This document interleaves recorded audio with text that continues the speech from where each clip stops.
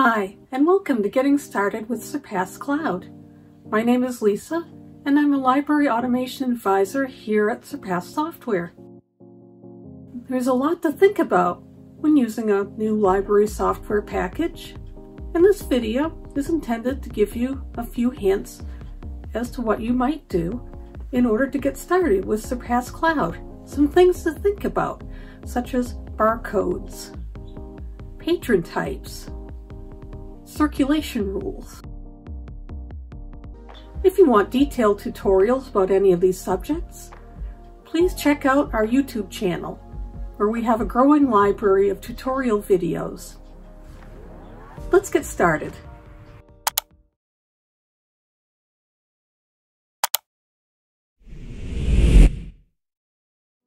One of the first things you will want to do when starting to use Surpass Cloud is to identify what categories you will want to use for different types of materials, such as paperbacks, board books, and equipment. Your Surpass Cloud database will include some categories, such as regular or reference.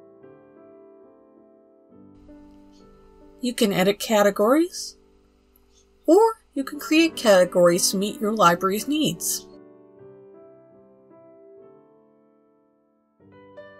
Categories are used to create different circulation rules for different types of resources. They can also be used to tell patrons what section of the library items can be found in. In Surpass Cloud, cataloging templates are tied to categories.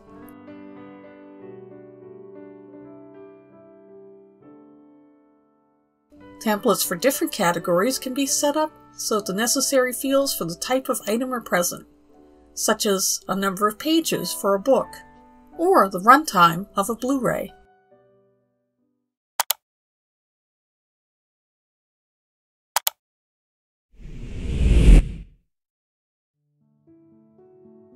Call numbers help patrons and staff find items on the shelves.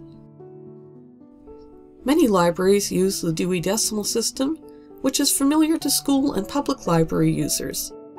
Others, such as college and university libraries, use the Library of Congress classification system.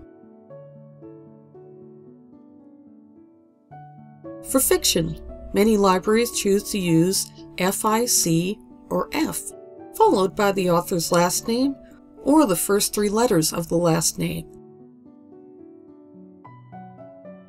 Surpass Cloud can take Dewey or LC call number information from a MARC record when copy cataloging and copy it to your library's holdings information. If you want to edit a call number or add one of your own, you can always edit the call number in the holdings field.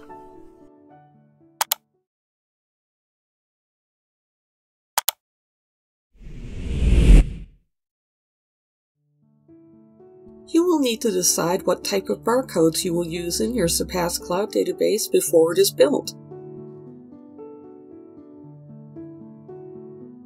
Legacy or CodaBar can be used in Surpass Cloud. If you have barcodes already from another library system, contact us to see if they are compatible with Surpass.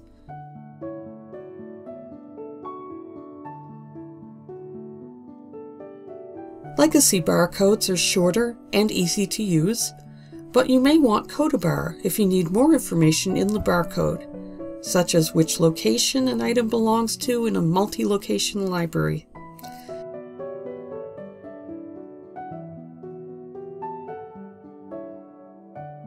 Are you planning to print your own labels?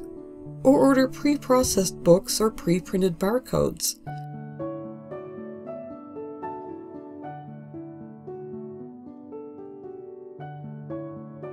Will patrons have library cards? With a standard office laser printer, you can print your own barcode and spine labels. If you choose to issue patron cards, you can print those as well.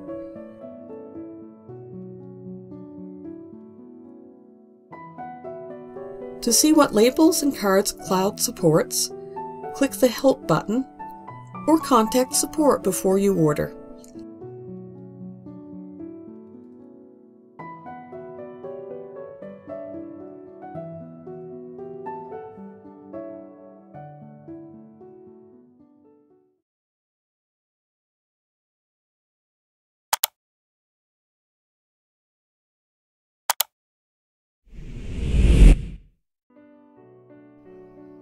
Another thing to consider is what types of patrons you will have in your library.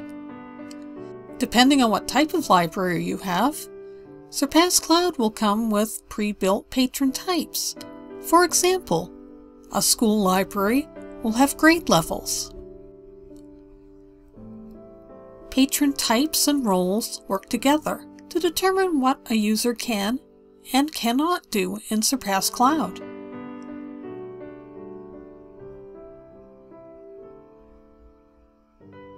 You can edit existing patron types, or you can create new ones. Patron types can be set to allow checkouts or not, and to limit the number of items checked out at one time.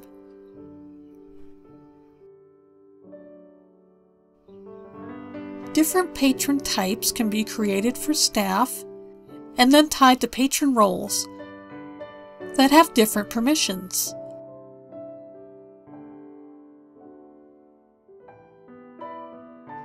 Patron types also work with circulation rules to control who can check different types of items out and for how long.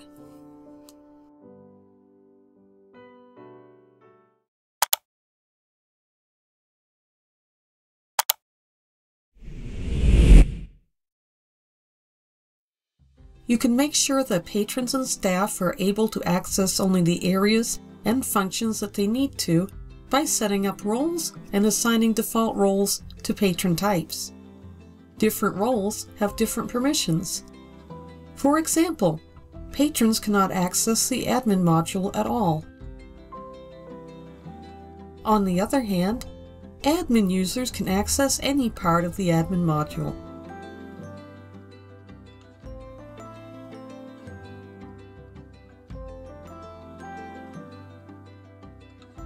As with patron types, there are pre-configured roles in your database, depending on what type of library you have. These can be edited, or new ones can be created to give users access to do what they need to do. The only exception is the admin role, which can't be edited or deleted. You can have multiple admins at your library,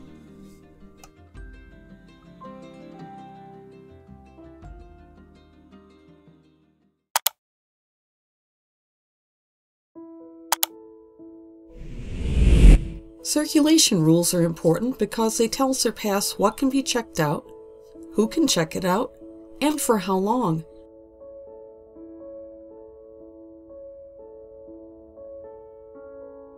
They also determine if and how many times an item can be renewed, if there are fines for late items, and if there is a grace period before fines start being charged.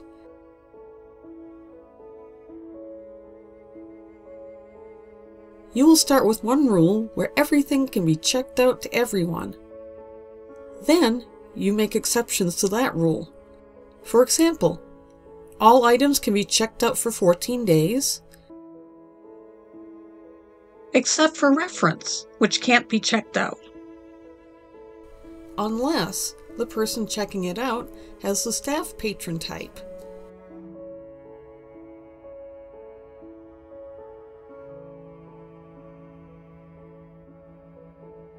You can create new rules as needed.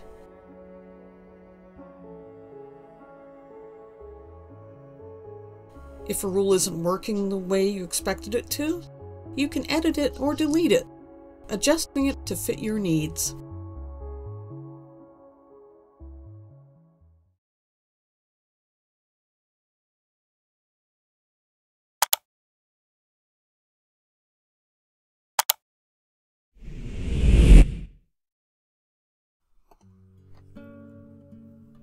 Deciding what days you will be closed and putting them on the calendar is very important because resources won't be due on those dates.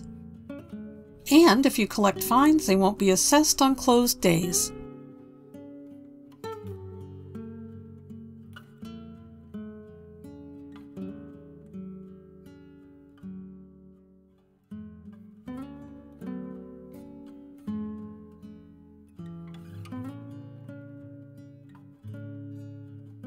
You can also set a final due date if you want all materials returned by a particular date. This is useful for the end of the school term, for example, or for inventory purposes.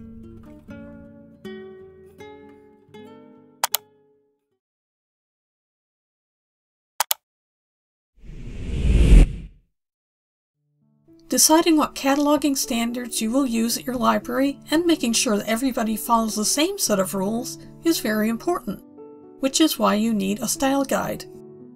Will you use formal cataloging standards, like the AACR2 and Library of Congress subject headings? Or will you create a system that is unique to your library? Whatever you decide, consistency is key. Using the same keywords and subjects, standardized spellings, and choosing the same fields to enter information in is important so that Surpass can find the information and include items in search results. Writing it down for reference will help everybody be on the same page.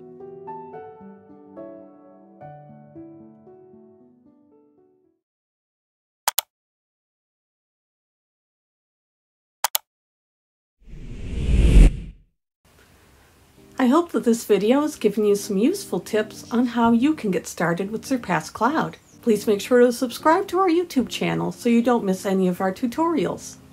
The Getting Started playlist has videos that cover some of the topics covered in this video. Remember you can always contact support with questions or click the help button to go to the online manual. Thank you for watching and have a great day.